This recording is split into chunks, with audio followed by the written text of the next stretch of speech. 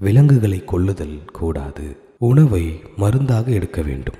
இல்லையேல் மருந்தே உணவாக மாறிவிடும்.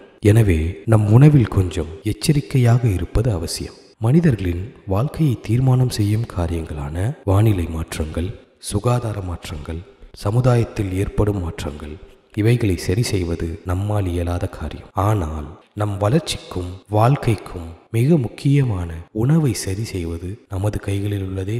உணவை எதற்காக சாப்பிடுகிறோம்? நமது உடலை சுத்தம் செய்ய மனதை அமைதிப்படுத்த நாடிகளில் உள்ள பிரச்சனைகளை தீர்க்க. நமக்கு நன்மை தரக்கூடிய உணவு சுத்தமாக இருப்பது அவசியம்தானே? உணவு சுத்தமாக இருந்தால் மனம் சுத்தமாக இருக்கும்.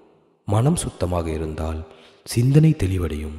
சிந்தனை தெளிவடைந்தால் மனதை கட்டிப்போடும். எல்லா காரியத்தையும் மீண்டு வருவது சுலபம். விலங்குகளை கொன்று உணவாக்கப்படும் இத்தகைய உணவில் கொல்லப்பட்ட அந்த விலங்கின் எதிர்மறை எண்ணங்கள் வேதனை அலைகள் நிரம்பியிருக்கும். எனவே நமது வேதனையும் வியாதிகளும் அதிகமாகிறது. மாமிச உணவு உடலுக்கு தீங்கு என மருத்துவ உலகம் கூட எச்சரிக்கிறது.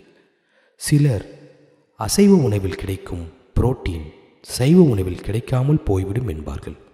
சைவ உணவில் புரோட்டீன் கிடைக்குமா என்று கேள்வி கேட்பார்கள். புரோட்டீன் என்றால் என்ன என நாம் தெரிந்து கொள்வது அவசியம். புரோட்டீன் என்பது மனிதர்களின் தசைகளை உருவாக்குவதற்கு முக்கிய பங்கு வகிக்கிறது. இந்த புரோட்டீனை பூமி தாவரங்கள் நீர் சூரிய ஒளி உபயோகித்து அமினோ அமிலம் மூலம் தானாக பெற்றுக்கொள்கிறது. சில விலங்குகள் புரோட்டீனை மற்ற விலங்குகளை கொன்று தின்று எடுக்கின்றன. ஆகையால் இக்கணமே விலங்குகளை கொன்று சாப்பிடும் வேலையை விட்டுவிட்டு சைவ உணவு உண்பது நல்லது.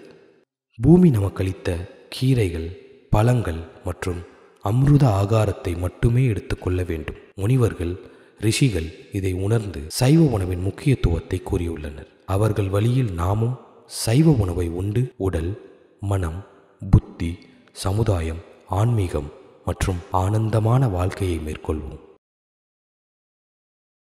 பிஎம்சி நேயர்களுக்கு ஒரு வேண்டுகோள்.